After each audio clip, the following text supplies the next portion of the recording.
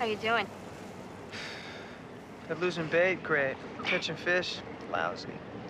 You had a nibble, though. Yeah, well, we should have just have rented some scuba gear, swam with a huge school of fish. Couldn't miss with that.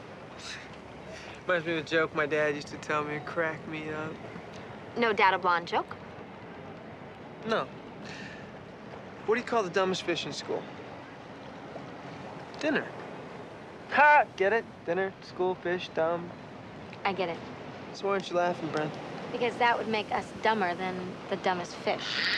Right. A couple of uneducated mackerel. Hey, Bren. Flounders without a college degree. Oh, There you go.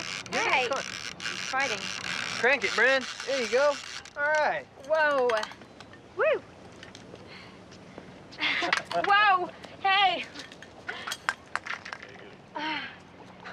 Would you like it? No, it's too small. Needs time to grow. Yeah, he's right. You better throw it back. All right, little fish. Be lucky you're not dinner. Now go join your friends. You done? Yeah. It was a great idea. A great day.